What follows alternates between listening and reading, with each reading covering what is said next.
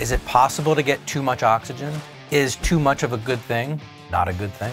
And if that is true, how do you know where the line is? Is there a way to calculate the dose of oxygen to know that you're keeping your patients safe? That's what we're gonna cover in today's video. In today's video, we're gonna be talking about the dosage of oxygen, and there's two reasons to have a conversation around dosage. The first is, are they getting an effective dose that's ultimately gonna lead them to the benefits that they're looking for? And are they getting a safe dose that we know with confidence, beyond a shadow of a doubt, that these patients are nowhere near at risk of pulmonary oxygen toxicity? Oxygen toxicity is a real thing, and we've covered it in previous videos. There's two types of oxygen toxicity central nervous system oxygen toxicity and pulmonary oxygen toxicity. So if you haven't seen those videos, please take a look and make sure that you have a full grasp and understanding of what oxygen toxicity actually is. Now, let's start the conversation with oxygen tolerance units. What is that? An oxygen tolerance unit is literally a measurable dose of oxygen. It's the atmospheric pressure multiplied by the percentage of oxygen somebody's breathing, multiplied by the length of time that they're being exposed inside the chamber. When we're just casually talking about oxygen dose, or I'm trying to explain this to a patient, I might just say to them oxygen pressure in minutes. But it's literally ATA, so the pressure in atmospheres, absolute ATA, multiplied by the percentage of oxygen that they're breathing, multiplied by the number of minutes that the session was we could take a look at any protocol, whether it's an on label protocol or an off label protocol, and we can literally start breaking these protocols down into oxygen tolerance units or oxygen pressure in minutes and start to understand what was the cumulative exposure of oxygen that this patient received over a period of time.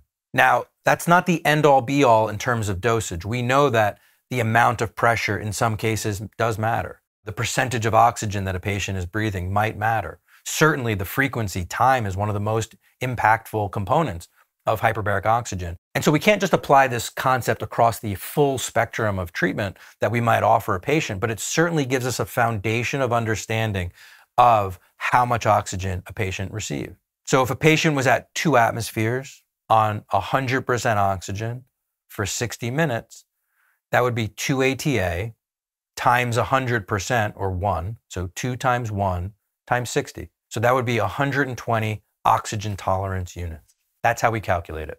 Why is this important and why do you care? We'll get right back to the video, but real quick, I wanted to let you know that if you're new to hyperbaric and you're really trying to learn more about hyperbaric oxygen and its appropriate uses, I wrote a book, Oxygen Under Pressure, which is available on Amazon, and it goes into the details of what is hyperbaric, how does it work? Why does it work? Why is it so powerful for so many of the things that it helps? And how do we use it appropriately and use it safely? And so if you're interested in that, we're going to add a link in the description below so that you can buy that book today. All right, now back to the video. Why is this important and why do you care? Well, to some extent, maybe you're treating somebody at 2.2 where they treated them at 2.0, or you're treating them at 1.5 where they treated them at 2.0. Maybe you're breathing 100% oxygen or 96% oxygen. So what we could start to do is we could start to manipulate those three variables, oxygen, pressure, and minutes, and we can start designing protocols that are similar, even with slight differences in one or two of those variables. Are you guaranteed to get the exact same results when you start manipulating those variables? No. But should you get pretty close? In most cases, I would say yes. And so when designing a protocol or a program of care for a patient or a client, understanding those variables and understanding how to add more time or add more visits or a higher percentage of oxygen where lower pressure might be used or understanding where the frequency and duration of a protocol might be less where more pressure and more oxygen is being used can help you create these consistent protocols and get much more similar results. On the other hand, how do we keep our patients safe? And how do we make sure that the dosage of oxygen that we're now calculating is well within the tolerance of that patient so that we're not at risk for something like pulmonary oxygen toxicity? Well, you know the equation. It's ATA times the percent of oxygen times the number of minutes. So, what is the typical tolerance of an average patient? Well, in order to get full blown oxygen toxicity, that would be 1,440 units in a day. How did we get that number? Well, that would be breathing at 1 ATA, which is normal atmospheric pressure, where you and I are right now. So 1 ATA, breathing 100% oxygen. So 1 times 1 times how many minutes are there in a day? 1440. So one ATA times 100% oxygen times 24 hours or 1440 minutes is 1440 units. So that's full blown oxygen toxicity. That's why when you see a patient with COPD or heart and lung issues and they're on oxygen 24 hours a day, they're not getting 100% oxygen through a mask 100% of the time. They're getting like two to four liters of oxygen through a cannula to make sure that we're not putting them at further risk of further pulmonary, or in other words, further lung damage.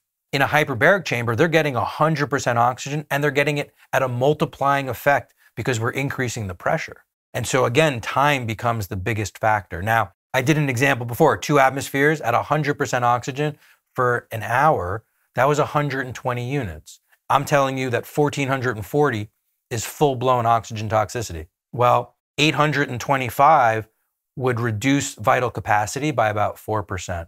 And so, in general, in most of our hyperbarics, we're trying not to exceed 325 units in a 24 hour period.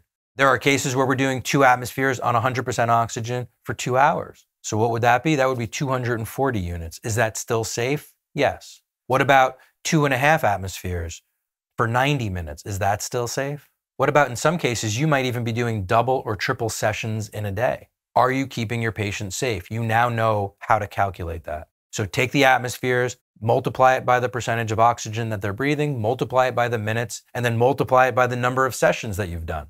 Understanding this concept will guarantee that you're keeping your patients miles away from pulmonary oxygen toxicity, while at the same time developing a meaningful plan that you can put together for them to make sure that you're getting the effect and the benefit that you're trying to reach with them. So I hope this helps you understand OPM, oxygen pressure in minutes, and understand how to create safe and effective protocols for your patients. We'll see you on the next video. Whether you're a chiropractor or a naturopath, or an acupuncturist, or a DO, or even an MD, but you're looking at hyperbarics through this lens, the lens that I'm describing, which is applying hyperbarics for all these off-label conditions, this is the class that teaches that. And right now it's the only class that teaches this type of hyperbarics in this way, and that's an actual certification course. Check out hbotusa.com, and uh, right across the, the top you'll see upcoming events. You can click on that and it'll show you uh, when our next courses are going to be.